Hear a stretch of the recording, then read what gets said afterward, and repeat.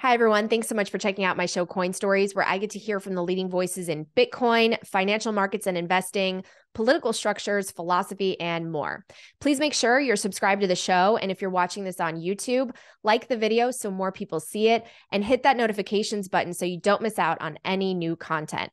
This podcast does not provide financial advice. It is for educational and entertainment purposes only. So make sure to do your own research before making any investment decision and be aware of your risk tolerance. I'm able to produce this show thanks to my sponsors, and I'm very picky about who I choose to partner with. So I hope you take the time to listen to the ad reads throughout the show. All right, now to my first partner, where I buy my Bitcoin, Swan.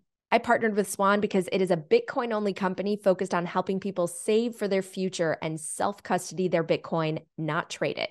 You can start a direct deposit to take advantage of Bitcoin as a savings technology and learn how to take it off the exchange. Swan's mission is to educate 10 million future Bitcoiners through free resources and media projects like Hard Money. Swan also offers retirement planning with an IRA, tax loss harvesting, home equity conversion, and a white glove private client service.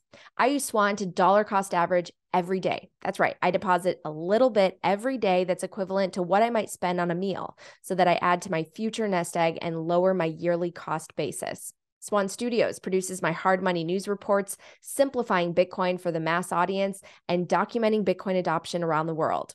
To learn more and get $10 in free Bitcoin when you sign up, head to swanbitcoin.com slash Natalie Brunell. All right, it's time for the show. Whitney, it's so great to have you back on the show. I think I've told you this before, but you're my most requested, my most popular, most listened to guest. So you you really are making an impact. I, I I hope you you you feel that people are appreciating your investigative work because if you go to mainstream news, you're not going to find it. So thank you. No, thank you. I'm happy to be back. All right. I want to cover some of your recent investigations into banks. Uh, a, a, lot of people, you know, they felt um, nervous that the banking system might be on the brink of another systemic, potentially collapse. And yeah. I was curious, just maybe your reaction when you saw the bank runs happen and Silicon Valley Bank uh, go under. What did you think? Because maybe you were already researching this uh, this Jamie Dimon situation. Uh, yeah, to an extent, but you know the the recent crisis with Silicon Valley Bank and you know uh, the the Signature Bank stuff and all that related, um, you know those related events, um, I sort of see as separate from the stuff I was writing about um, or looking into regarding the Jamie Dimon, J.P. Morgan, Epstein connections in a sense, um, just because a lot of that seems to be much more related to um, you know U.S. government regu- uh, efforts to regulate crypto and sort of uh, go after banks that are deemed pro crypto or, or, could be sort of competitors to a future um, digital dollar CBDC or even competitors, for example, to the FedNow service that's due to launch in July. Uh, some people noted that, for example, Signature Bank Signet, for example, um, it may have been seen as a competitor in in that sense. And you know uh, as as time sort of uh, wore on with the you know the these particular bank uh, shutdowns uh, it became pretty clear that at least in the case of signature bank you know that particular bank didn't really need to be shut down. And the argument from uh, regulators was that they had a crisis in the confidence of of the leadership of the bank allegedly because they were unwilling to end uh, their crypto business so you know that definitely seems like a calculated move um, on the part of you know the the federal government the federal authorities. And then of course you have the the issue of the the bailout how most of the deposits at silicon valley bank were not insured. And then you have the federal government stepping in and saying they're going to make pretty much all investors at silicon or all, all people with deposits at silicon valley bank whole uh, which you know in in sort of a congressional hearings that that followed this incident. You know, you essentially have uh, Janet Yellen being questioned from, I think, a congressman from Oklahoma, forget his name, sorry, uh, and he essentially forces her to admit that um, th- that particular move uh, means that you know, or sends the signal that if your uh, funds are not insured and, uh, and, are at a small community bank, uh, they won't be protected, right? Um, but or um, but if they're at a big bigger bank uh, that's deemed, you know, uh, essential, uh, or you know, they they are willing to justify bailing out depositors due to systemic risk claims and all of that. You know, any of these too big to fail banks, for example, if you have your money there, your money is more likely to be protected than at smaller banks. And this is really consistent with what's happened over the last several economic crises uh, where you have you know further consolidation of banks over time and you've had you know tens of thousands of banks uh, being shut down largely a result of federal government monetary policy over the last several decades um, consolidating uh, you know the financial industry in the united states in fewer and fewer hands. And obviously you know i would argue that jp morgan has had a, a big hand in that. Uh, they tend to be one of the biggest winners from these big consolidation moves and that's likely to be the case as as this current banking crisis wears on. And it was certainly the case um, in 2008 when they, you know, acquired the remnants of Bear Stearns for pennies on the dollar. Um, so I, I, think you know if we look at what's going on now through the lens not just of the, of the crypto situation, but also you know this effort to create an even more ever consolidated uh, banking sector, you know I think sort of the answer as to what's really going on here sort of lies uh, somewhere somewhere in that ballpark. I want to go deeper into that idea of too big to fail and what that really means for for society and the public at large. You had a great quote in your article, The Rise of Jamie Dimon. You said that, you know, some of the figures involved were engaged in actions that would intentionally provoke the collapse of certain banks to further consolidate the banking sector for their benefit. The goal both then and now seems to be a move toward the logical conclusion of the too big to fail banking model, the eventual creation of a centralized cartel of mega banks that dominate not only commercial banking but also central banking. Um, you know, a lot of us in Bitcoin talk about the creature of Jekyll Hyde that there is this idea yeah. of a cartel, um, and that and that consolidation of power obviously ends up hurting the the the average person who's trying to create a small business and trying to function in in their daily lives in America. Can you talk a little bit about, you know, why it's important that we have competition in, in banks and why that model of too big to fail hurts the the the plebs, the overall, the public? So I'm probably not the best person to answer these questions, but I think it's pretty clear that when you have um, you know, ex- ex- centralized power, whether it's ex- or extreme centralized power, whether it's in the federal government or the banking industry or really in, in any industry, it tends to be de- more detrimental to the consumer than if it's more decentralized and there's greater competition, right? Um, because then you're more likely to have a, a superior uh, product come out, not just necessarily have, uh, you know, slim pickings. This is what you know, you know, the the three choices you can choose from instead of twenty. You know, with less competition, you're going to have, um, you know, poor choices ultimately uh, from the consumer end of things, and uh, you tend to have people, uh, you know, when the power is increasingly centralized, you know, control becomes a big issue, and it stops being about, um, you know, economic freedom to an extent, and about how can we um, you know, use our power to further certain policy agendas. Um, so you know i definitely think it's it's detrimental and i think the too big to fail model over time um, has obviously proven to not be good really for anyone except the people at the top of the too big to fail system themselves. Mm-hmm. Um, and I don't really, um, you know, expect things to get better until there's major policy changes on that front. But as I just mentioned, it seems pretty likely um, that, at least as the federal government is concerned, they plan to further that model to its logical conclusion. And you have people like Edward Dowd, for example, saying in recent interviews that by 2025, there'll probably only be six banks uh, left in the US after this latest round of consolidation. And it's very hard not to see it, at least in this current iteration, as being intentional. And you could argue that maybe, uh, you know, in 2008, it may have been intentional as well. And some of the stuff I hope to show in this series I'm doing on the JP Morgan uh, Epstein relationship, it really seems like, at least as it relates to the collapse of Bear Stearns, that collapse was intentional.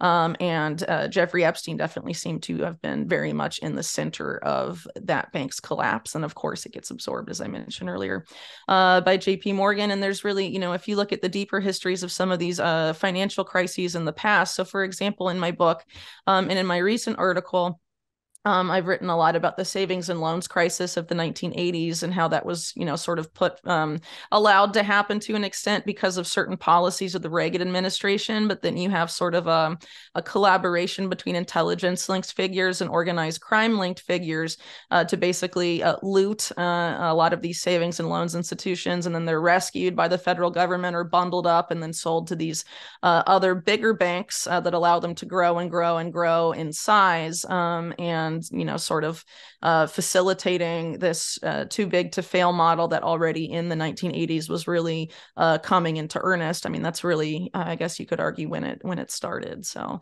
um, this definitely seems to be an effort over time to consolidate control over the financial services and banking industry because ultimately, as I'm sure you're audience knows um you know whoever controls uh, money controls the world essentially right? So if you can control uh, financial services and banking uh, and you have your people uh, dominating that industry you know the more dominance they wield over that industry the more control they they exert right? Whether it's on politicians or the public at large for sure. I think I actually saw that interview with Ed, Edward Dowd uh, talking about how there's going to be basically a handful of banks. And you know, what's so interesting is that every time there's like this crisis and government intervention created the moral hazards and some of the problems, the solution is more government intervention. And and ultimately, like you mentioned, I mean, the the the the power just concentrates to this small group of unelected elites. Um, makes me think of a quote from one of Saifedean's books, who wrote the Bitcoin Standard. He said, "In the marriage between government and banks, no one knows who wears the pants, and and you really don't, right? One one controls the other. The um, but so let's talk about your piece because you wrote another phenomenal article, uh, "The Rise of Jamie Dimon." And man, so many of the same people, figures, companies from your books, yeah. um, One Nation Under Blackmail, which I have over there, uh, they they come back up. How how shocking! So there there are links to Jeffrey Epstein and the people who kind of groomed and helped Jeff, Jeffrey Epstein rise. Um, but for folks that maybe haven't haven't read this article yet, kind of give us the thirty thousand feet um, view. What what is this about, and what are maybe the most interesting or shocking things that you uncovered?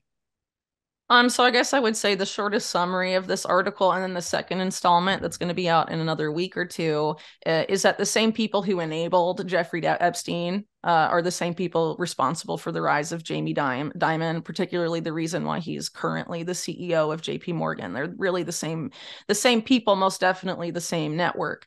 Um, so for people that don't know, uh, Jamie Dimon started off uh, basically being the apprentice of Sanford Weill or Sandy Weill, um, and together they built what is now Citigroup. And uh, due to, a, I guess, a, allegedly sort of an ego spat between the two men, with Dimon allegedly not liking living in in Weill's shadow uh, for decades, uh, there was a split, and and Dimon leaves, and then he's headhunted by a bank called Bank One uh, and becomes their CEO in uh, the year 2000 and then a few years later bank one merges with jp morgan chase. And uh, he's you know Dimon of course is put in charge of the combined entity and becomes one of the most powerful if not the most powerful banker on wall street.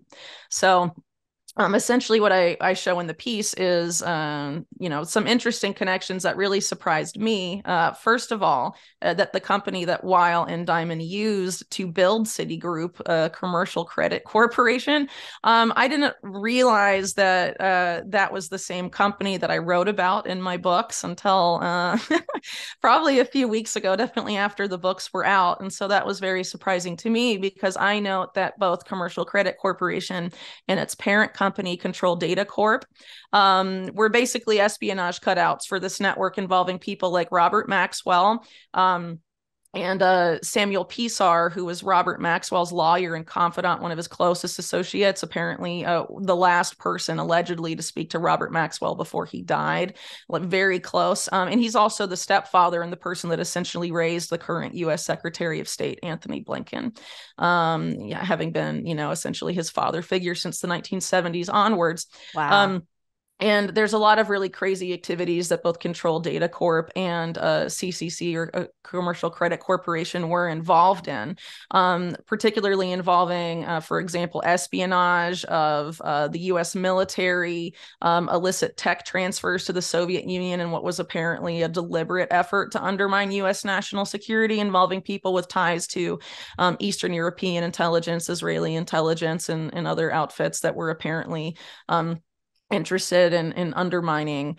um, U.S. Uh, military and also economic advantages um, for different reasons. And as I note in the piece, Pisar in the 1970s was pretty open about what these uh, the ambitions were um, of this particular group that was essentially controlling these these companies I'm I'm talking about. And he said uh, he told Congress essentially uh, that private Western capital enterprises of note uh, were were merging and intermingling to a significant extent with communist-run state enterprises. The goal of which was to produce a unified global economy, essentially a one world economy, um, and that this was uh, eliminating the need for a nation state. I mean, this is really crazy stuff to be telling Congress in the 70s. Um, it was very in your face especially when you consider how things have played out over time and where we stand today. And he calls this, uh, Pisar called this the rise of the trans ideological corporation. Um, and really, it's uh, essentially what uh, has been running the world, I guess you could argue, since then, uh, since these capital networks, um, are, you know, are essentially transnational and have very little allegiance, if any, to any nation. You know, it's all about building a giant uh, global banking cartel or really, you know, corporate cartel, cartel, I guess you could say. But obviously, banks are involved there as well. Um, and for and, people not, if, and mm-hmm. for people not that familiar with Pisar, who was he?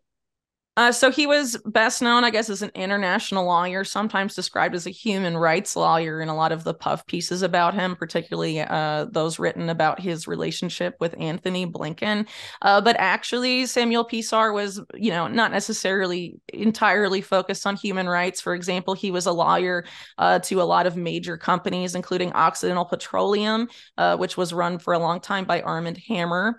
And of course, Armand Hammer has a lot of ties to the same network I'm talking about here and tried to financially Union, blackmail yeah. a bunch of congressmen and very shady guy. His father, uh, Julius Hammer, had been a spy for the Soviet Union.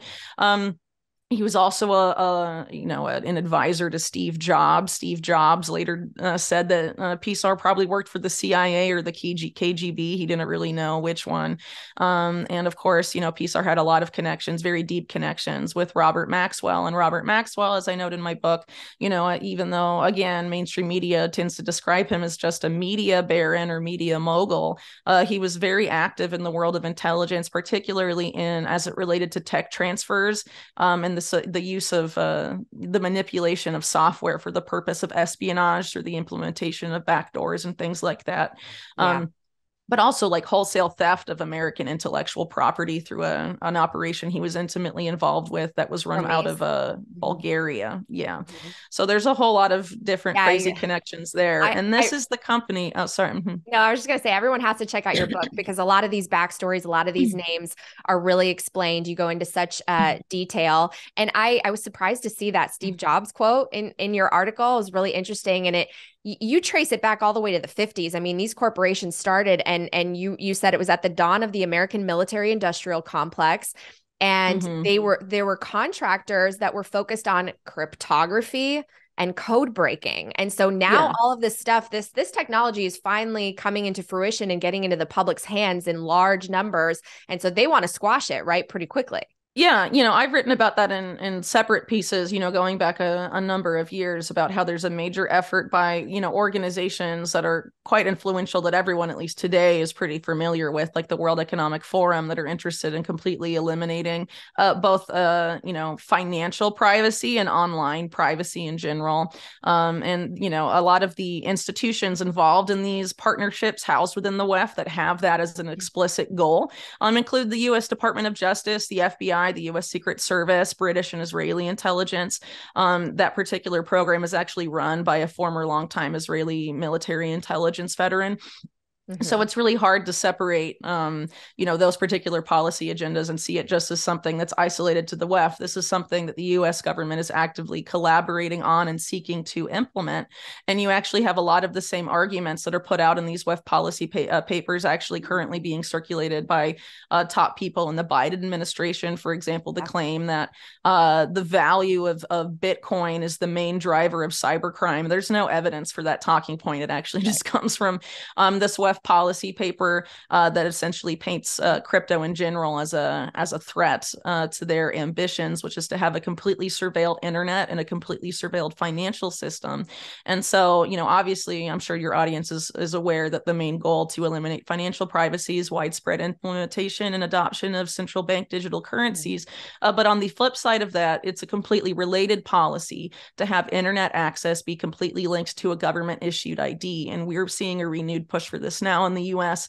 Uh, but actually, it was being uh, promoted really heavily during the Obama administration. They called it a driver's license for the internet. And you've seen the European Union and, and the UK government also push these uh, these policies as well, but it's really coming from this, um, you know, WEF group that is essentially, if you look at the WEF partnership against cybercrime, and if you look at their members, it's not that these intelligence agencies um, or the Department of Ju- U.S. Department of Justice, like I mentioned earlier, it's those entities plus the biggest banks in the world, like Bank of America is on there, um, I, and so you know, a lot of these big, uh, too big to fail financial institutions are essentially colluding together to eliminate uh, online and financial privacy um, and all they really need is some sort of cyber attack right? Um, and and they pretty much say it there that you know there'll be some sort of event that will galvanize public opinion around these policies and have people asking for a safer more secure mm-hmm. internet. And they have you know these particular uh, policies and uh, organizations they seek to create that will you know bring that into effect. Um, but uh, you know a big part of it is is targeting crypto. They obviously see that as a major um, major threat to their uh, policy ambitions it's time for a quick break to hear these messages from my partners. First up, Bitcoin Conference 2023. The world's largest Bitcoin conference is returning to Miami Beach from May 18th to May 20th. Day one is Industry Day with a focus on business minded panels and discussions, plus top tier networking opportunities. General admission days two and three are open to all pass holders and feature panels, keynotes, and workshops with speakers like Michael Lewis, Michael Saylor, Jack Mallers, Lyn Alden, Arthur Hayes, and more. Plus, some exciting new additions like the inaugural Bitcoin Games and the Mining Village, and the return of Pitch Day. I highly recommend this conference. It's what launched my career. And if you want to come, just head to b.tc slash conference and use the code HODL, H O D L, for 10% off.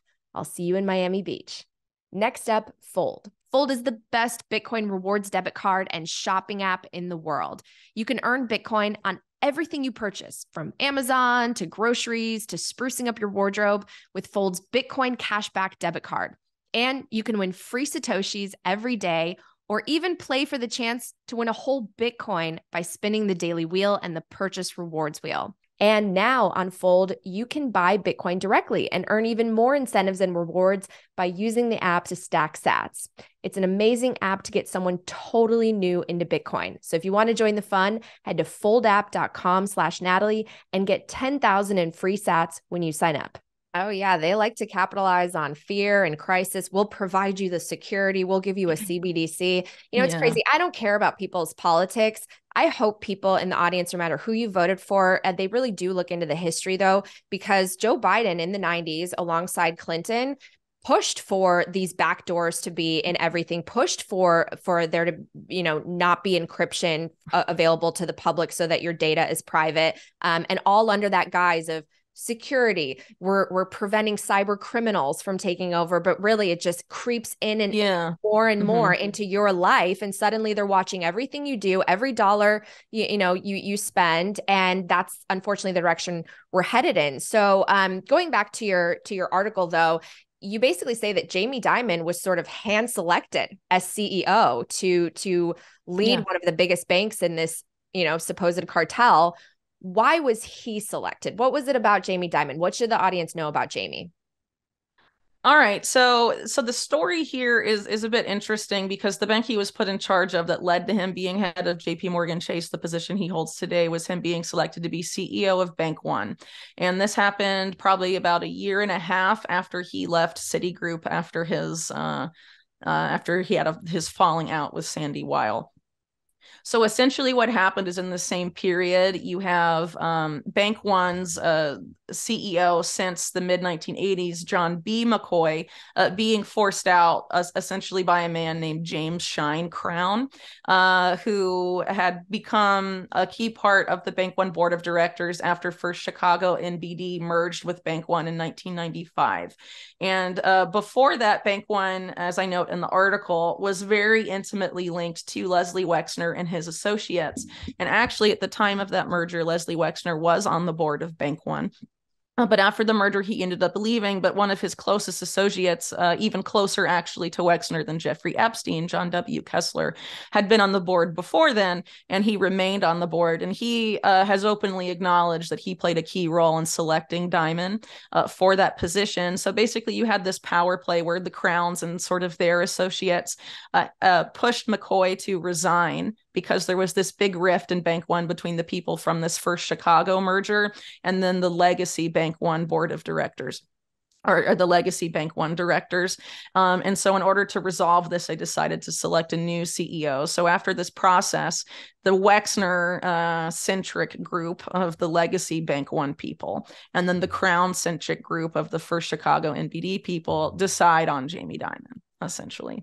And so this is important because Leslie Wexner, as I've noted really extensively, not just in this article, but also in my book, um, has a lot of very disturbing connections, both to organized crime and intelligence that go way back to the 1980s. And actually, the person that made Bank One what it was at this time, John B. McCoy's father, uh, John G. McCoy. It gets kind of confusing because before him, the bank was run by his his father, John H. McCoy. Uh, but basically, this uh, uh, the father of the CEO that was forced out in 1999 uh, was a mentor to Leslie Wexner and to Kessler. Um, and w- under his watch, uh, Bank One became involved in money laundering for Iran Contra arms sales, one of the top four banks utilized for that specific purpose. And actually, uh, three of those four top banks are now part of JP Morgan Chase. Um, and one of, and I think two of them were rolled into uh, uh, Valley National Bank, became part of uh, Bank One shortly thereafter.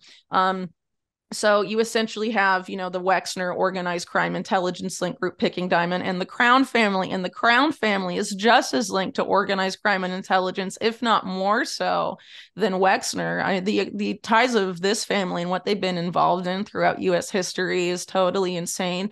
And a lot of people probably don't know the history, but this particular uh, family uh, was uh, their empire was uh, really began with Henry Crown, who was born Henry Krinsky.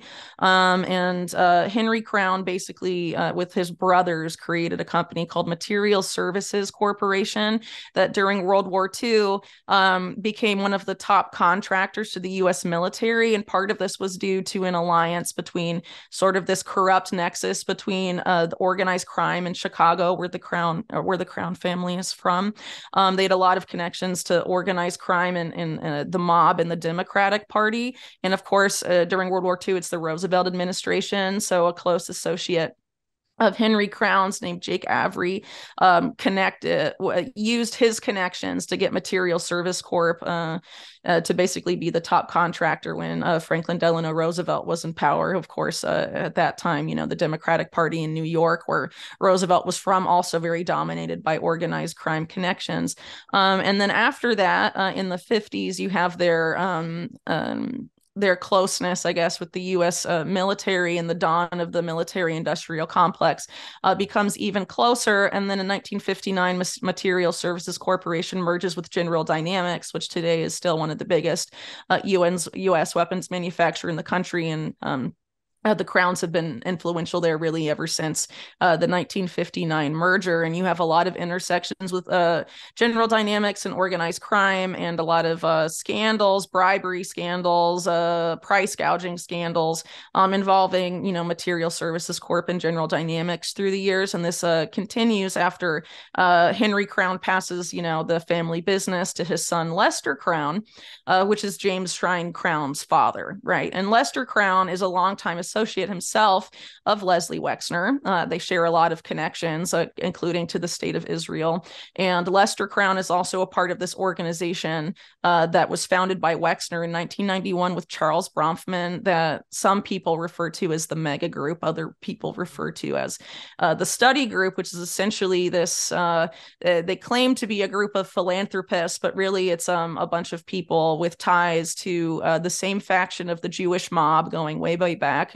Wexner, Bronfman, uh, the crowns and as i note in the book there's several others as well that have ties to essentially the jewish side of what uh, gus russo wrote about in his book super mob uh, and super mob is basically about this group of um, Jewish and Italian uh, mobsters and businessmen who came together and basically merged uh, organized crime business interest uh, with political power and seemingly legitimate corporate interest and created this whole web of either outright illegal activity or gray area uh, quasi illegal activity. And then it, this essentially starts in Chicago and then goes to really dominate other areas of the country, particularly Los Angeles. Uh, and you have a lot of ties, of course, to MCA, now Universal Studios, uh, people like Lew Wasserman and uh, you know affiliated with this particular super mob network um, and and that's essentially uh, what the mega group ends up being and again that's that's wexner and, and charles bronfman that create that and lester crown is a is a founding member and so you have uh, you know at that time uh, the crowns uh, and wexner coming together uh, with the this merger i mentioned earlier in 1995 creating a new bank one and it's these very entities that are responsible for selecting jamie dimon as ceo so essentially, the very same network that's responsible uh, for the rise of Jeffrey Epstein is responsible for the rise of Jamie Dimon and, and putting him in this exact position he he is in today and making him one of the top bankers in the United States. And so it's important to remember that just like Jeffrey Epstein, uh, Jamie Dimon is a man who knows who put him uh, in a certain position of power and who he, he he's beholden to essentially. Well, so it almost sounds i mean you've described jeffrey epstein as almost middle management right and so the tentacles yeah. the tentacle spread and the roots go very very deep he, they're not the he's not the one that was actually pulling the the the strings so to speak he was sort of in the middle and the the the power resides above mm-hmm. him uh, and, yeah. and names that people aren't familiar with that you've been pulling out in your book so um i mean my first question is just are there certain qualities about Jamie or his background or, or why he would be the right choice where these people could essentially direct him in the way that they want? Or like, do you think that he's always, I mean, it sounds, this sounds like deep corruption, just corruption. I want power at the expense of yeah. anything else. So do you believe that Jamie prob- Dimon's corrupt? Well, I think, you know, what you just mentioned is probably where the truth lies. So remember, you know, uh, basically Dimon got where he was with Citigroup, right? Um, because of because he was basically the underling of Sandy Weill. And after a while, he was tired of being in Sandy Weill's shadow and it led to the spat. And then he gets, uh, you know, basically forced out or he resigns, it, eh, depending on who you believe from Citigroup. And after, you know, building up this uh, giant bank, uh for for decades you know he's he's you know doesn't have anything right? And then you know people come along with an offer saying we'll give you just as much if not more power than your former mentor sandy weill um yeah i think he was probably willing to play ball to be able to climb his way to the top and now he's definitely outshone his mentor to a significant degree right? Um so uh, yeah, it's you know it's it's it's hard. I mean, I don't know if anyone in the audience or you will relate, but it's like I want to believe that people are good. I do, and that you know it, there's there's something that happen happens in numbers and in groups where all of a sudden you have to defend defend your power, your position, your your community, your group. So maybe maybe things start to go awry, and then all of a sudden time goes by and it turns into just a, a, a, a spiral and and more more negative outcomes have happened when the intentions were good. I i just it's just hard to believe that people could be in these positions. They're elites. They don't have to worry about money. They wield all this power and influence and they're okay with you know hurting people uh, I, I, or being a part of a system at large. Maybe they're not directly hurting anybody but the system that they're in hurts people you know hurts uh, yeah i don't think i don't think they care about that. I think these people live in their own little social bubble where they yeah. interact with people just like them and then like you know they have servants who they don't really see on the same yeah. uh, tier as them as being beneath them and then they just you know do what they do because to a lot of these people it's all a big game you know Wow. And they don't really uh, see their actions as having consequences. You know, a really good example of this is someone like Henry Kissinger, who makes all these insane foreign policy decisions when he's in power, and he's like, "U.S. soldiers are pawns uh, for you know for people like me to essentially like move around the chessboard."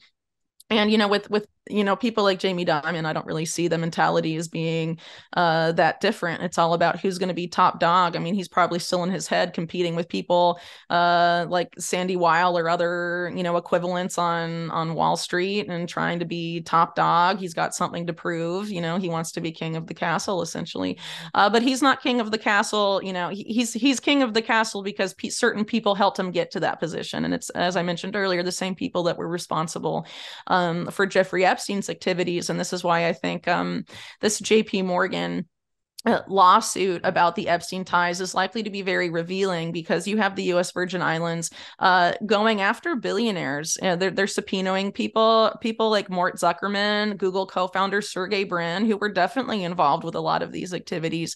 Uh, but mainstream media has actually been unwilling to go after those people, but the U.S. Virgin Islands is willing to uh, at least attempt to subpoena them and get to the bottom of things, and willing to say that this went far beyond Jes Staley, who, by the way, J.P. Morgan and this current lawsuit is trying to pin everything on him and say Jamie Dimon knew nothing. Um, mm-hmm. Um, and the USVI is going very hard to say that Dimon definitely knew something.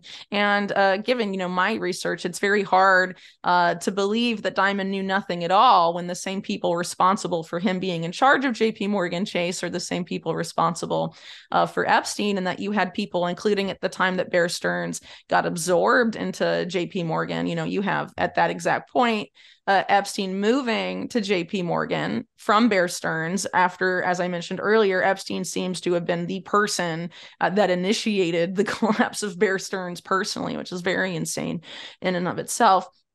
Um, and then he becomes, you know, intimately involved uh, with that bank. And according to the USVI, there's internal reports where people, like top executives at JP Morgan, were joking about uh, Jeffrey Epstein's uh, procl- like interest in minors uh, you know, things like that. And in uh, uh, other internal reports they cited in this hearing, it was very clear that Jeffrey Epstein, even though he's nominally supposed to be running a financial advisory firm at this time, has no uh, financial activity consistent with any sort of client based business. So he's obviously involved in something else very bizarre. And he was also extending loans uh, to the company MC2, which was being run by Jean Luc Brunel, who was probably the top person, along with Epstein, that was part of this sexual trafficking operation. And of course, like Epstein, Brunel died under suspicious circumstances in a jail cell in Paris not that long after Epstein died in 2019. Uh, so there's definitely something to hide. And if you're taking it, you know, to Jamie Dimon, who himself is a billionaire, you really are trying to, at least to some extent, uh, hold the powerful to account for this case, at least much more than anyone else with any sort of clout uh, has done since uh, the case really broke in earnest and became of major public interest in 2019. Yeah, well, the case is what I wanted to focus on next. And by the way, no relation to that Brunel, by the way, just in case anyone's Oh, yeah, it's spelled differently also. Yeah. um, yeah. Uh, but yeah, so so as you mentioned, people are getting subpoenaed. Um, you know, I, I, a lot of people who when we've done our interviews before, they've asked, how come this black book is not out? How come the media is not focusing more on these connections uh, that Epstein had to very, very powerful people that are still yeah. in office or still the head of corporations? Uh, but now in the mainstream, it is coming out that potentially Jamie Dimon knew that Epstein was a sex trafficker. What is the exact evidence that that reveals that that that may be true. And why is it the USVI that's going after it? Because you mentioned in your article I mean an, an, attorney got fired right after this case was filed I believe right? Yeah. Mm-hmm. Yeah, Denise George was the attorney general of the USVI that filed this case, and she was uh, and she was fired just a few days later. So a lot of people, you know, connect uh, put two and two together, and uh, you know, assume they're related, and they probably are. Um, and but they're still continuing to prosecute this case, um, and it's not exactly clear why them. I guess there's more uh, uh, interest there, uh, and there were a lot of weird things that Epstein was doing in the U.S. Virgin Islands, looking to recruit youths to work for him, for example, wanting to collect a bunch of DNA of uh, U.S. Virgin Islanders and turn it into what he referred to as a biomedical Google. So, you wow. know, maybe there's different reasons we don't know about why they're very unhappy with Jeffrey Epstein's activities and their uh, his presence in, in their, you know, well, I would say country, but really the U.S. Virgin Islands is essentially a colony of the United States.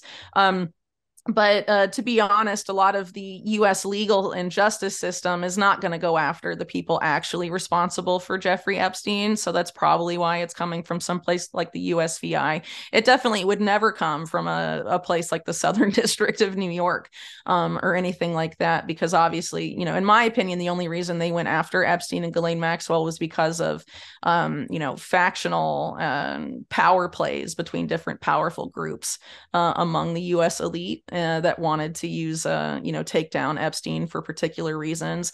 Um, and we can speculate why that might be later on. Um, but i think there's um you know there definitely is a lot to prosecute here if people were actually interested but it, again it involves going after very powerful individuals um, in the united states and very powerful networks. So you know for example this super mob network that i mentioned earlier that that goes back decades and decades um, that those these particular networks for example the crowns in chicago and another super mob family from chicago intimate, intimately related to them the Pritzkers are essentially responsible for people like Barack Obama uh, and the Clinton family. Well, at least uh, some of the Clinton family. You know, obviously you have you know Arkansas with Jackson Stephens and and similar uh, organized crime linked, intelligence linked uh, billionaires and, and businessmen in their rise. But you know, Hillary Clinton's unsuccessful presidential campaign, for example, had a lot of ties to the Pritzkers and uh, in the Crowns, uh, and these guys have a lot of influence over the Democratic Party specifically.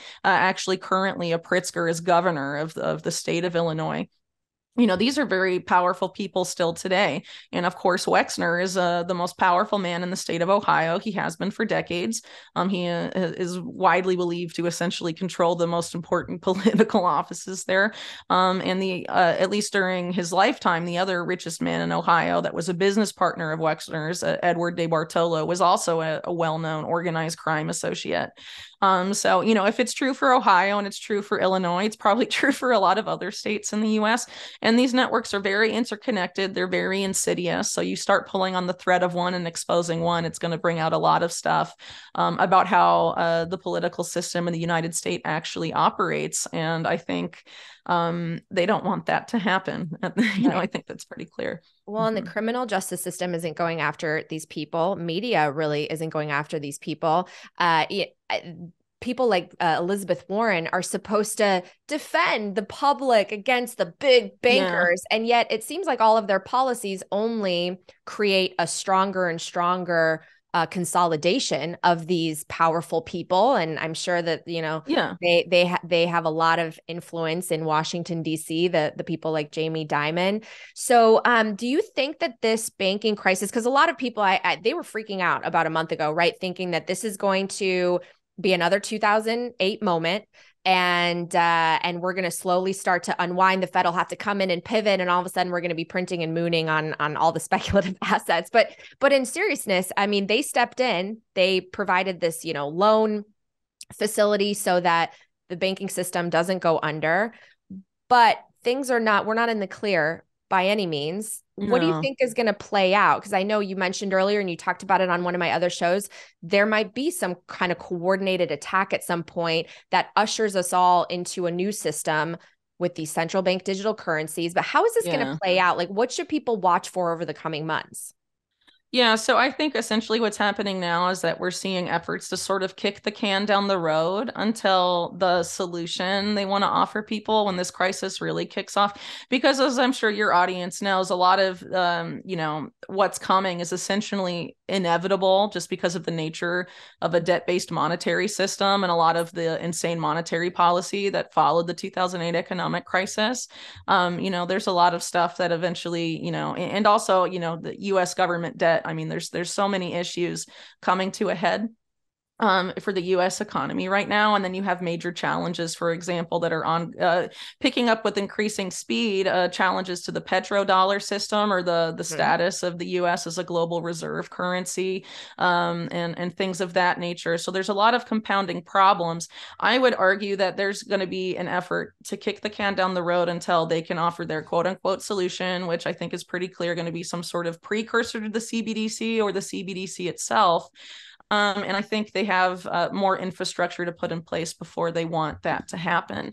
Um, so, you know, I think people should essentially consider uh, you know, this crisis is very real. Now is the time to prepare because there is a lull, but it is a planned lull. And after the lull is going to come a planned controlled demolition. I was, I was just people, about to say those words. It sounds yeah. like controlled demolition. Well, and people yeah. don't realize too, central bank digital currencies are going to involve these big banks. It's not going Absolutely. to be that it, it's going to be kind of tied entirely with them. So you'll have one account that's maybe a retail account, but another that's tied directly to the the government and it will be that yeah. infrastructure is going to be kind of tied together do you know exactly how that'll work where because obviously a central bank digital currency some might think well that would make the commercial banks obsolete why would you need a chase yeah. bank account if you have mm-hmm. a cbdc and an account with the fed but it's not like that there's actually an incentive to have fewer banks because those banks will have that relationship with the central bank will be allowed and, to have that relationship and you'll only yeah. bank with them how will that work exactly yeah. Uh, so I guess the model people can look to for this has actually uh, already been implemented in Russia. So, of course, Russia's central bank is working on a CBDC, uh, but there's also the Sber coin that was launched by Sberbank, which I believe is Russia's biggest bank. Um, and uh, I think uh, the Russian government is the majority owner of Sberbank, but the guy that runs Sberbank, Herman Gref, is a devoted, uh, you know, I, what would you call him? like a devoted follower of Klaus Schwab and the World Economic Forum uh, very much uh, pushing for you know the use of biometrics as payments and a lot of this other stuff that sort of gets referred to as you know a coming technocracy or uh, the rollout of the fourth industrial revolution and so it's very likely that JP Morgan is positioning itself to sort of be that equivalent in the United States. For example, you've already have them in the past few weeks openly push for mass adoption of biometric payments. They're going to start making it available to their clients, paying with your face, paying with your palm. Of course, Amazon is rolling, uh, attempting to roll the, these types of payment methods um, out as well. And then more recently, you have Jamie Dimon in the past couple of days saying um, that it, that private land, uh, private property property should be seized by the government for the purpose of developing so-called yeah. clean energy uh, for climate change. So that yep. tells you. Um, 15 uh, by the way, cities, 15 minute yeah, cities. People so, should really look into those too. Yeah, so Dimon is, uh, for people that don't know, openly affiliated with the World Economic Forum, and he supports a lot of these policies as well. Um, and JP Morgan, you know, after any big consolidation move, is definitely one of the too big to fail banks that the federal government will move to uh, protect at all costs. And I think Dimon's very aware of that. And essentially, what will happen, I, I think, is, you know, JP Morgan saying now, oh, well, now we're rolling out this feature where you can voluntarily pay with your face or your, your fingerprints or a palm scan. Uh, but what happens when JP Morgan says, well, actually, we've decided for reason X, Y, and Z uh, that this is the only way you'll be allowed to pay from now on. Uh, it's it's you know you, you give a bank like JP Morgan all that power it's not going to be hard for them uh, to do. Yeah. and uh, unfortunately because of the Silicon uh, Valley Bank crisis and the resulting aftermath I mean you had people in the days after that pretty much saying that one of the big winners was already at that point just days after the collapse JP Morgan Chase because so many people were opening and moving accounts there because the federal government was essentially signaling if you go to one of these too big to fail mega banks your money will be safe Yep. Um, so I mean, it's hard not to see this as a concerted policy push to get people to feel like their money is only safe in one yep. of these giant mega banks that's on board for uh, these agendas, whether it's CBDCs or biometric payments, programmable money.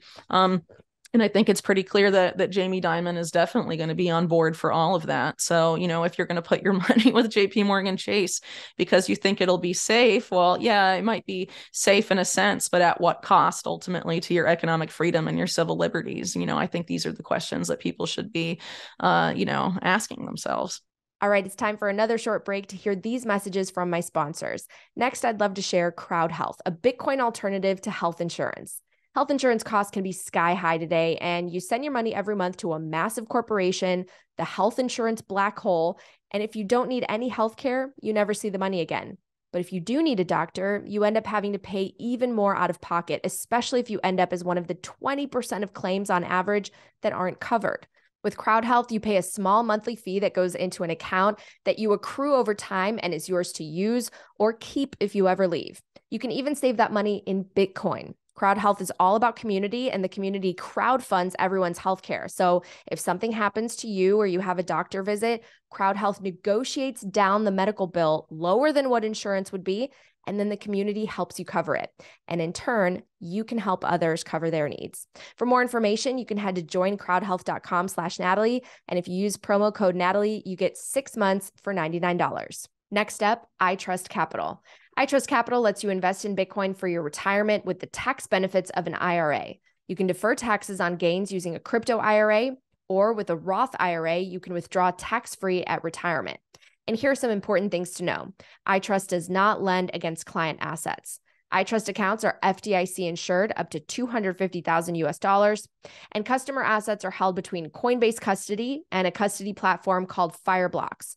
Fireblocks, by the way, underlies pretty much the entire industry. So, if you're doing retirement planning and considering adding Bitcoin to your IRA portfolio, you can sign up for an account and get a $100 bonus at itrust.capital slash Natalie Brunell. Now back to the show. Exactly. And you've been doing some investigations on the WEF and cybercrime and sort of this, they, are fusing the tech sector with intelligence and government more and more. Um, I know that yeah. one one thing that's happening with this push against crypto, because you know, crypto in large part, this is this is why this technology was um, why the cypherpunks were so passionate about separating money from the state so that the the power would return to the individual as opposed to these centralized entities. Yeah. And Jamie Dimon's come out there saying he hates Bitcoin. You know, he was at Davos uh, on TV mentioning that, but they're going after the platforms, the on ramps.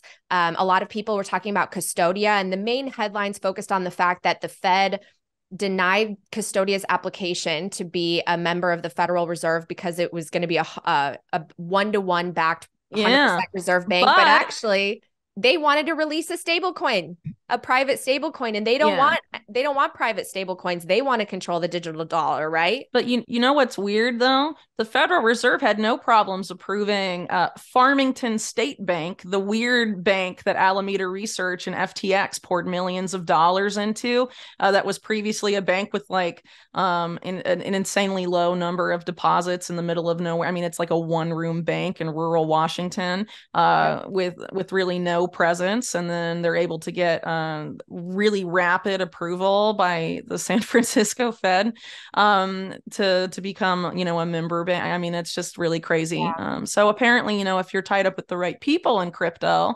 um, you know, you can get approval from the Fed. But if you're not tied up with the right people, then you're not.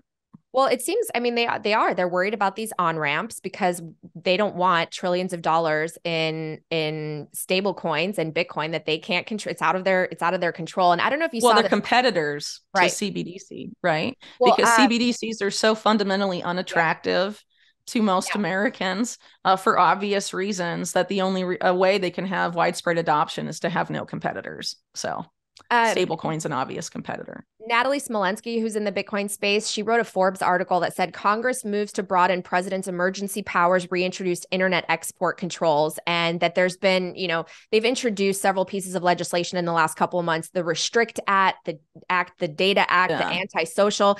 All a lot of this is under the guise of, oh, we're trying to protect you from TikTok, like the, you know, China yeah. is controlling you, but actually they're controlling you. Can you can you speak to that? Because like i said you talked about this in your investigations into uh, the the moves against you know supposedly cyber crime but actually it's just taking your data and controlling it and removing privacy and introducing surveillance yeah. So about TikTok right? Like I have, I, am very sure that the Chinese national security state utilizes that for that purposes, but it's very insane to think the US government hasn't been doing that to an even greater extent uh, with their tentacles very well deep and it's documented into every other social media uh, platform, whether it's Instagram, Facebook, uh, Twitter. Um, they have backdoors into all of it. And actually, it was a very suspect company called Verint Inc. that made all of those uh, backdoors uh, into these platforms for the NSA. Um, so, you know, we've been mass surveilled on by our own government for a very long time. And so I would argue that any efforts to sort of make TikTok the bad guys just because they don't like competition for surveilling on their own populace, uh, but that doesn't necessarily mean that, you know, the US national security state are the good guys. I would argue it's really um, quite the opposite. So, as I mentioned earlier, there's this WEF partnership against cybercrime, and the US government is openly part of that and a major driver of that, along with some of these big multinational banks. Um, and some of the policies of this partnership are completely insane. Um, one of the ones I write about in my two part series on them is how they're basically lobbying to merge law enforcement with Wall Street banks and then at the same time with banking regulators. So, and this is all allegedly under the guise of stopping potential financial cybercrime. That hasn't it, happened yet. But if it did happen, it would be so catastrophic. So, to prevent it, we have to merge again law enforcement agencies with Wall Street and banking regulators. So, first right. of all, merging Wall Street with their regulators is crazy talk. I mean, it's obviously. I mean, it kind insane. of already happens. There's a revolving door. One person works for. Well, of course, there's a revolving door. Sector, but public, yeah, exactly. But imagine, so there, there's a, you know, essentially they have fused in a sense through that revolving door. But imagine if the fusion is overt, how much yeah. stuff would happen, well, right? So the, at least they have to keep a veneer of the of the idea yeah. that they're separate and independent, right? Yeah. If they don't have to do that anymore, it's a very different game. And if you add law enforcement into this right. nexus, no, it, first of all, Wall Street banks will never be held accountable for anything ever. Um, and but also, you know, any sort of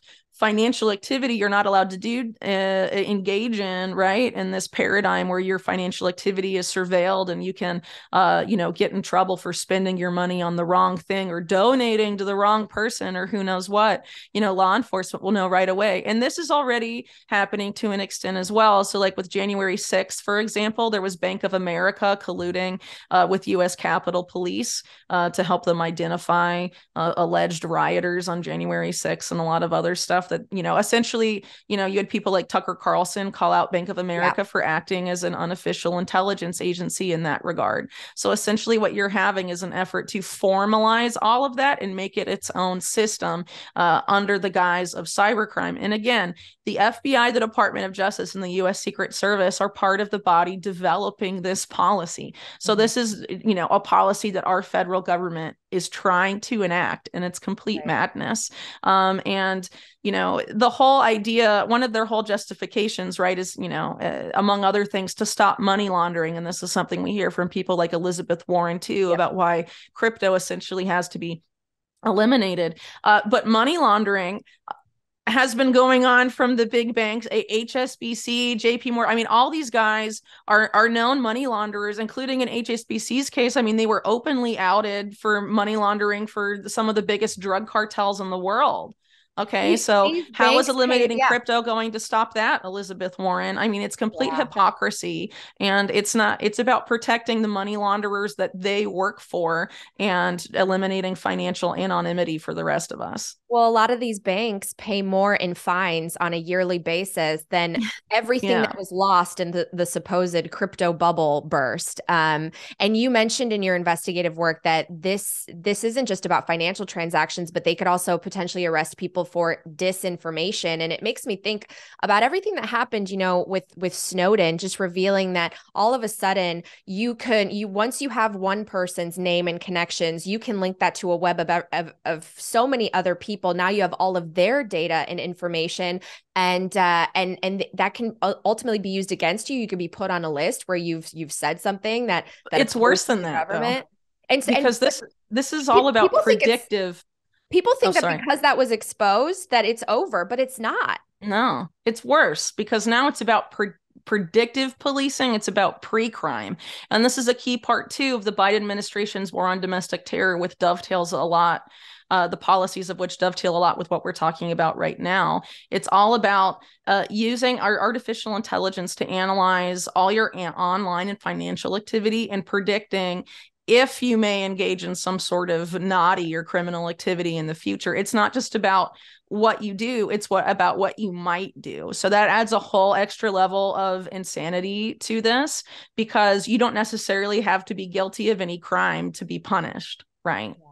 This is a whole pre crime paradigm. And that's why companies like Palantir are so critical to all of what's going on right now, uh, because these companies are about data mining and then and then using. I mean, uh, Palantir has been piloting predictive policing in the United States since at least 2015. Uh, and and there, in my opinion, as as you know, my work has uh, pointed out, um, the direct and intentional successor to a DARPA program called Total Information Awareness that was exactly about creating this sort of pre-crime uh, type paradigm in the United States after 9/11, and it was totally uh, attacked by by the media, the ACLU, all these other organizations because it would completely eliminate um, American privacy. Uh, it just privacy as a concept would cease to exist, and that's why it was defunded by Congress. But then uh, Palantir is resurrected as a completely private entity as opposed to a public-private entity like it would have been under DARPA, um, and apparently it's fine. And the people that created Palantir worked with the people that were running TIA, who were who's actually a major co-conspirator in Iran Contra, John Poindexter. Uh, Peter Thiel and Alex Karp go to him. They're connected to him by uh, the neocon and architect of the Iraq War, uh, Richard Perle and uh, in doing so, they make plans to create Palantir, the intended client of which, according to Alex Karp, was always the CIA. The CIA was their first uh, client for the first three years of their existence as a company, uh, and the CIA helped them design their their platform. And now they contract for all 18 U.S. intelligence agencies. And one of the things they do is they label people as subversives. And there's yeah. this policy since the 1980s, again developed by this Iran Contra nexus called called con- the Continuity of Government Protocol, and there is a database that of Americans, millions of Americans, they deem subversive. Um, that under the un- if ever enacted, and in order to enact this protocol, all you need is a vaguely defined national emergency. Wow and then these Americans can just have their constitutional rights completely suspended. Uh, and that's what we're essentially sleepwalking into. And all you really need is the right domestic terror false flag or the right cybercrime false flag. And all this stuff has been being built for decades and waiting in the wings, and it's total insanity. And it's very interesting you have Peter Thiel uh, come up in that particular context because Peter Thiel, even though he describes himself occasionally as a Bitcoin maxi, uh, is the guy that said on stage next to CIA Director Mike Pompeo that Bitcoin might be a Chinese financial weapon against the US and all this other stuff. And of course, he himself played a very odd role in uh, the run on the Silicon Valley Bank not that long ago. So he's definitely someone to pay more attention to, I would say. And I certainly wouldn't trust what he says publicly, at least about claiming to be a Bitcoin maxi at face value. It's very interesting. I know he did he did speak at the big Bitcoin conference last year. You know, all, all this sounds so dystopian and like you said we might be sleepwalking into it but i do i know that i do what i do and you do what you do because we want to make change for the better and have hope that it could get better right? I mean, future generations yeah.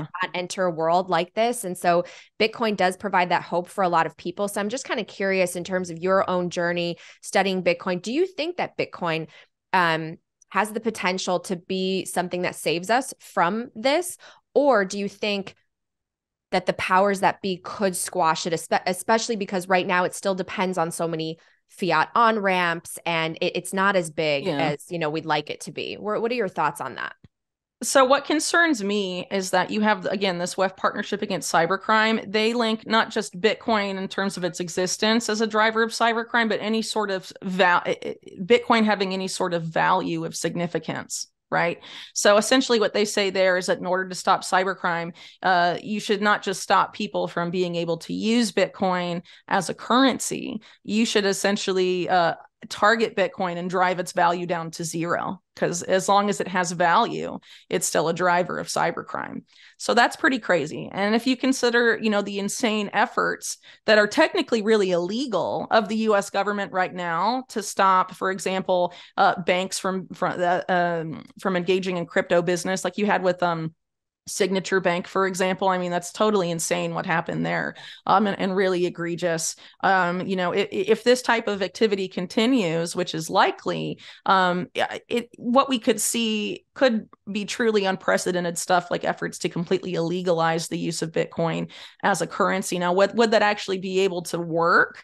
Um, would people still be able to get around that? It depends on how they do it, and it depends on um, how successful this dragnet of surveillance and this effort to completely upend privacy, you know, how it actually goes. Um, unfortunately for me you know i i do hold some bitcoin um, but at the end of the day when you're facing you know, you know when it seems like a major economic crisis is waiting in the wings bitcoin just like gold you can't eat it right? So there, there's certain things that i think people should do to prepare that involve you know uh, taking care of your more immediate needs maybe having a food store having plans like that about securing you know your basic needs for you and your and your family and some type of of crisis but at the same time too with bitcoin i think it's important to keep in mind you know there are there is a lot of technology that certain people use to to try and keep um, their bitcoin or, or their cryptocurrency transactions in general for being surveilled. But me personally uh, knowing what i know about the national security state i don't really have any illusions of privacy in that regard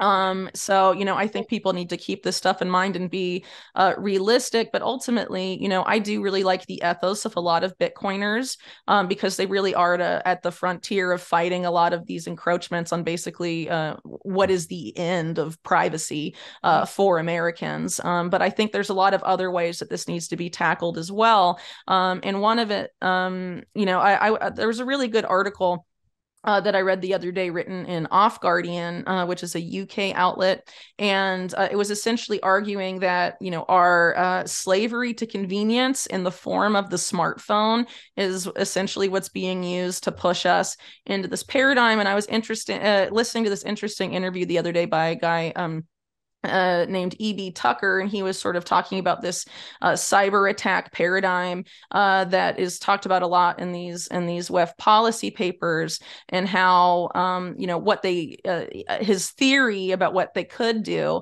is you know oh there's this uh, cyber crime, the cyber attack, your phone starts working, and the federal government tells everyone oh your money's not safe, so we're so for your security we're transferring your holdings in this or that regardless of what it's in, yeah. into CBDC tokens or something right. like that, or some other sort of paradigm like that. I think people need to be really aware of that and have some sort of, you know, cold storage option yes. for Bitcoin um, or something like that, where if that is uh, the way they try and get people onboarded to CBDC, whether they like right. it or not, which is, you know, more likely than not, to be honest. Right. Uh, you know, people need to be prepared for that in the Bitcoin community and have, you know, a really uh, spend some serious time thinking about if this stuff does come to pass what are you going to do? And if you uh, want to continue using bitcoin how are you going to you know ensure that you will be able to use it even if the regulatory and you know law enforcement you know gets involved trying to go after bitcoiners uh, in a very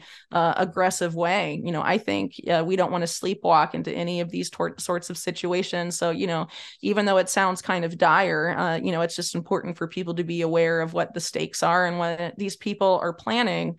Uh, otherwise, you might be caught unprepared, right? I'm really glad you mentioned cold storage because you're right. If it's on any of these platforms, just because you have Bitcoin, if it's not your keys, not your coins, they could potentially cut off, you know, any of these arteries and and and they have these choke points. And it is important to recognize that that's, you know, Bitcoiners are really trying to fight against this. They the cypherpunks in the 90s are the reason that the Biden and other bureaucrats didn't succeed in in their um, crackdown on encryption and, and online privacy and so we really, um, I think, you know, more information needs to get out because, like you've mentioned before, the power is with us. And uh, so I guess my mm-hmm. last question, where I want to wrap it up, is: Do you think that, you know, going back to that idea of controlled demolition, are we just in this holding period before it all culminates in some massive collapse, systemic crack, unwinding, another crisis to usher us onto this this scary spaceship. Um, and why why do you have hope, or you know, do you still have hope that we will have these parallel systems in place like Bitcoin and enough people know about them to empower them? Because we got to give them the you know power and strength so that we get off that ship.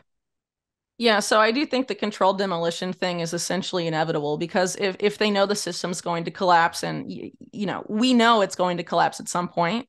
Um, you know, and I I'm not You think it's going to be like a guys. moment? Like a moment, like a like a well, not necessarily one moment, but I think you'll have one event and then a chain of events after it. Well, you have to keep in mind too the 2008 financial crisis that took several months to play out, right? So if you see Silicon Valley Bank and its collapse as the beginning of this financial crisis, even you know it, this could be playing out over the next few months or the next couple years. You know, it really depends on how they try and drag it out and for um, what purpose. And you know, ultimately um, you know, a lot of it might come down to things as simple as Federal Reserve policy, whether they continue to, um, you know, uh, fight inflation, quote unquote, raising interest rates, even though there's a bunch of uh, banks on the brink and all of this stuff. After Silicon Valley Bank, people thought they weren't going to hike, and then they did hike. Um, and you have to keep in mind too that there's, um, you know, Catherine Austin Fitts and, and some other people have pointed out that BlackRock has had a lot of um, undue influence over what the Fed does, whether that's uh, the the going direct research re, uh, reset plan they made with the Fed in Jackson Hole in late 2019 about what their COVID 19 monetary policy would be before COVID 19 happened.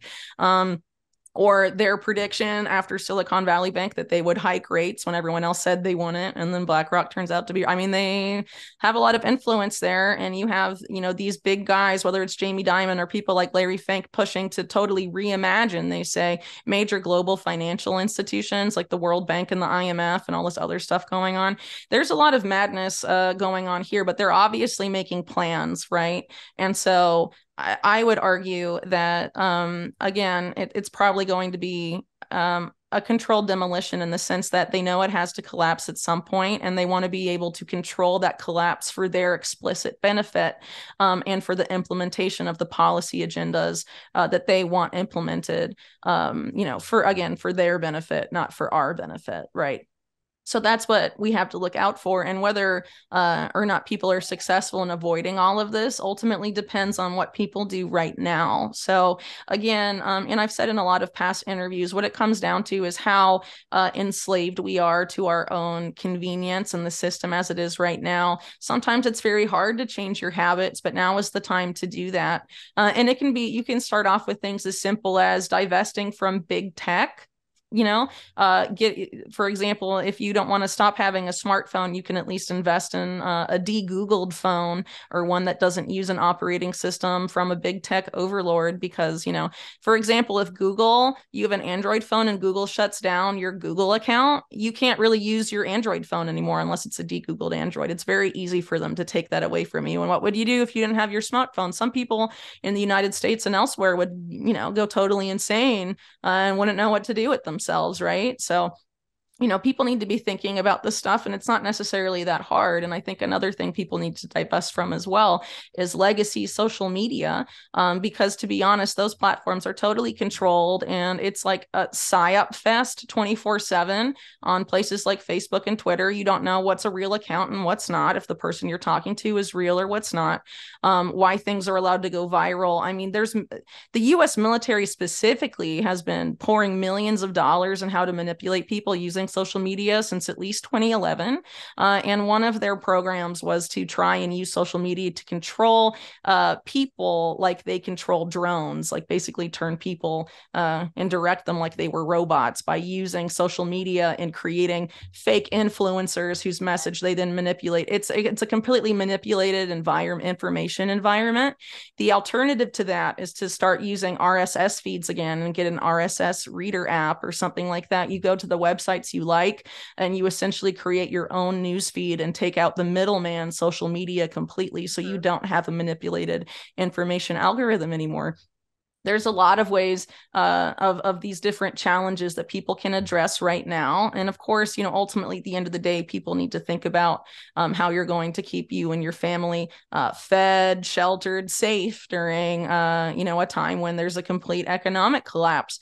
Uh, so the us you know 2008 uh, was an economic crisis but it wasn't exactly a complete economic collapse. So i live in south america. I know a lot of people from argentina. They experienced a complete economic collapse in 2001 that was really, really crazy. And essentially, what I've heard from people over there is that the best way uh, to handle that is to be mentally prepared for things getting insane. Because if you're not, you're going to make impulsive, very bad decisions, most likely based out of fear. The more prepared you are, whether it's mentally or, you know, physically or whatever, you know, the better off you will be because that is really the paradigm we are facing. And I definitely think they want to make it um, extreme enough where people will willingly take the CBDC option or be scared enough uh, right. uh, to give away more of their freedoms for a feeling of greater security. And this is, you know, the paradigm that's been used time and time again uh, to take away our freedoms. And we have very few freedoms left to take, right?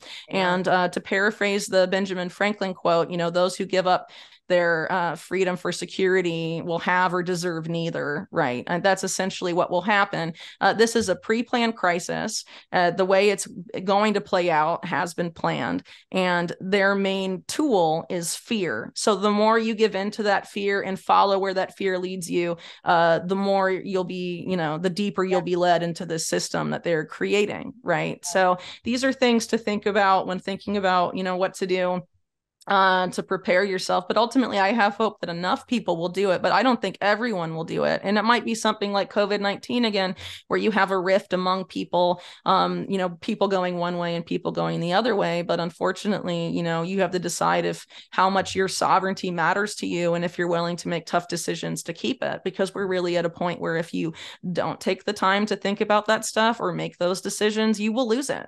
They yeah. will take it from you. I'm going to move on your island, Whitney. We're going to have our own freedom, freedom land. I mean, it, but it's true though. Freedom is not a given. It is very fragile and we have to fight to defend it. We have to strengthen yeah. it. Otherwise, it's going to erode very quickly. It's interesting that you brought up RSS feed because the other day I read the background of this guy, Aaron Swartz, who helped invent it. And he was fighting yeah. for a lot of this in um, tr- tragic death. But, you know, this idea that we really do have to take control and the, the internet should be open and our privacy and our data should be protected, but we're moving in the opposite direction. And things like Bitcoin do do give me hope.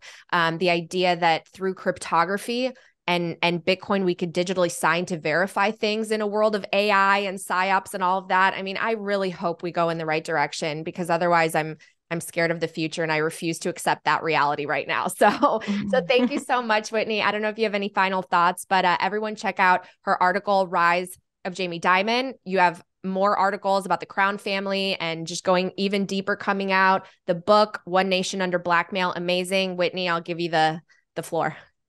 Yeah, well, the only thing I'd add to that is uh, in May, I will probably, if all goes well, be speaking at the Bitcoin Magazine conference. So uh, maybe see you there.